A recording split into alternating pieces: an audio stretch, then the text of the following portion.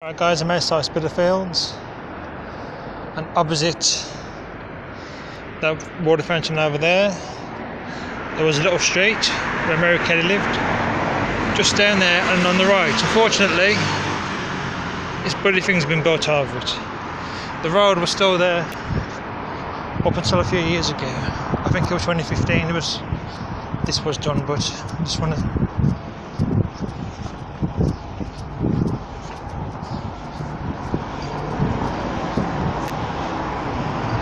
don't want to go in the shop because they might think oh, I, I either want to buy something or trespassing. So.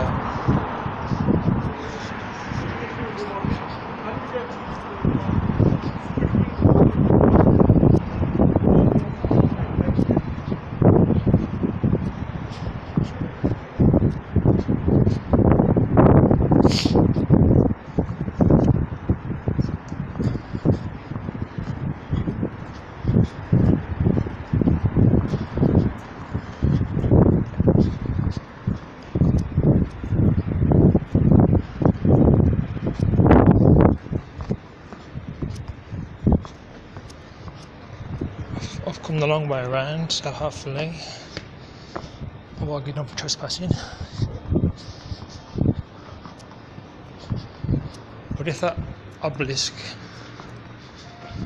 was over there, there was it ran into a car park and, and there was all green shutters along there.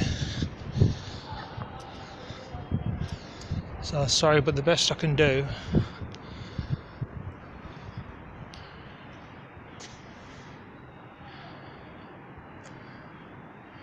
It would have to be over here. Church is there. There's the um, fountains there. There was a little road down here, and it put it, a house. Um, Miller's Court was down here, so it has to be. I wish they would stop building new stuff on on old um, famous sites. But yeah. That's the best I can do.